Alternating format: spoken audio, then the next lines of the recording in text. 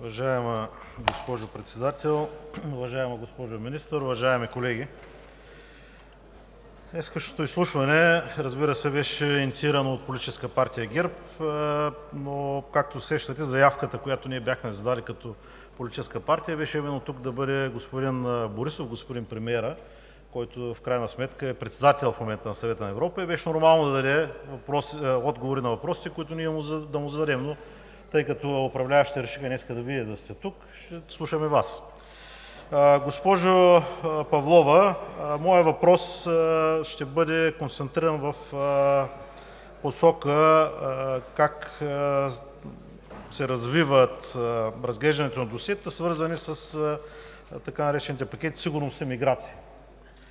Знаете, че още от края на 2016 г. Европейската комисия представи законодателен пакет за реформа на Шенгенската информационна система, която включва три предложения за регламенти за използване на тази информационна система за целите на полицейското сътрудничество, гранични проверки и връщането, като се очаква по време на нашето председателство тези досиета да бъдат затворени.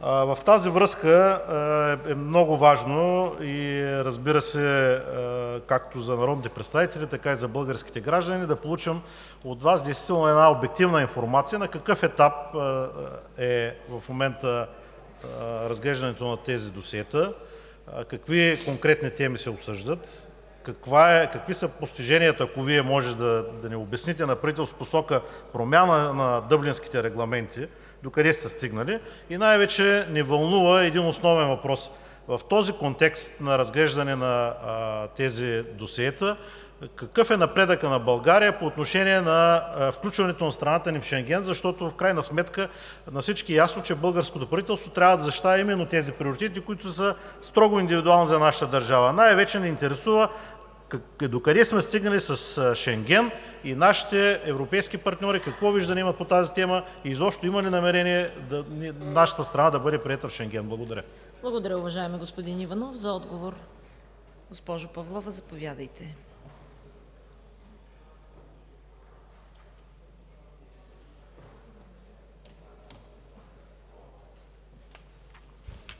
Благодаря, уважаема госпожо Председател. Уважаеми дами и господа народни представители! Уважаеми господин Иванов, както споменах, пакетът, свързан с реформата на системата за убежища, касае поредица от законодателни досиета. Те са общо седем на брой в различния обхват за това да постигнем една цялостна система, свързана с укрепване на външните граници, реформа именно на Шенгенското споразумение, реформа на системата за убежище.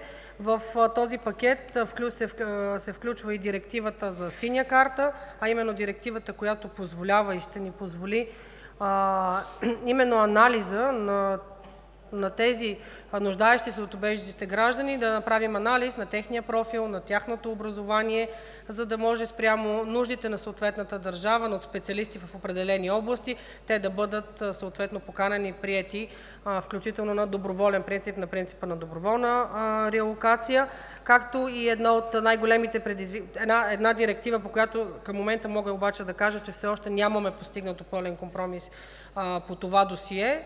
Причината за това е, Вие предполагам знаете, че системата за „Синя карта“ предвижда единна система, която да бъде нова, която да се прилага от всички страни – членки на Европейския съюз. По-старите членки на Европейския съюз не са докрай съгласни с изцяло предложения механизъм, защото те имат собствени системи, по които и досега правят такъв тип подбор на хора, желаещи убежище или като цяло към мигранти. Това е едно предизвикателство между това да изберат между националната си система или да влязат в една обща единна система. Това е едно предизвикателство, по което ще работим в следващите месеци. Другият законодателен пакет включва оперативната съвместимост на системите, както и като част от реформа именно на Шенгенската информационна система и Европейската информационна система за данните за съдимост. Това е изключително важно, именно за да можем като част от тази система да проследяваме съответно лицата, пътуващи, живеещи в рамките на тази територия.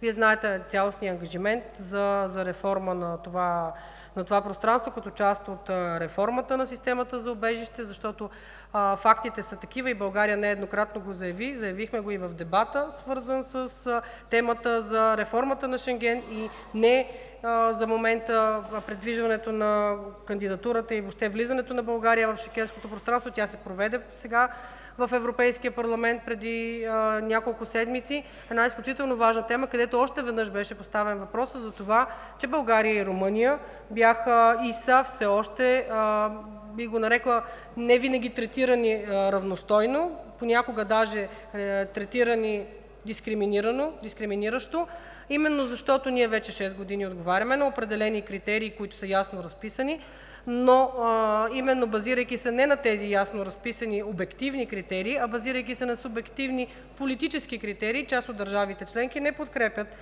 все още нашите стъпки напред. Дебата, мога да кажа обаче, че беше проведен по един, а, по един начин, в, а,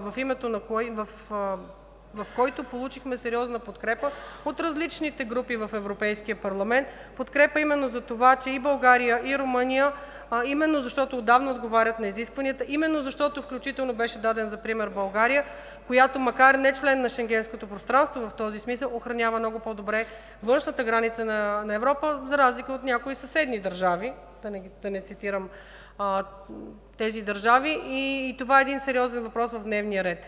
В, в тези месеци, независимо, че това не е пряк обект и не е конкретна тема на българското председателство, но усилията на правителство, паралелно с работата по председателството, са в това да покажем всички системи, които са изградени, всички мерки, които са изградени, за да можем още веднъж да обосновем, че не само сме изпълнили критериите, не само отговаряме на изискванията, но е крайно време в крайна сметка да получим пълната подкрепа и на тези държави, които все още а, изразяват това скептично отношение и знаем кои, от тези държави са, най-скептични. Виждаме положителни, индикации от тях, така че аз съм убедена, че независимо от тези процеси не могат да бъдат обвързани един с друг, но аз имам увереността и съм и оптимизма в това, че съвсем скоро можем да имаме положително развитие, поне частично в тази посока.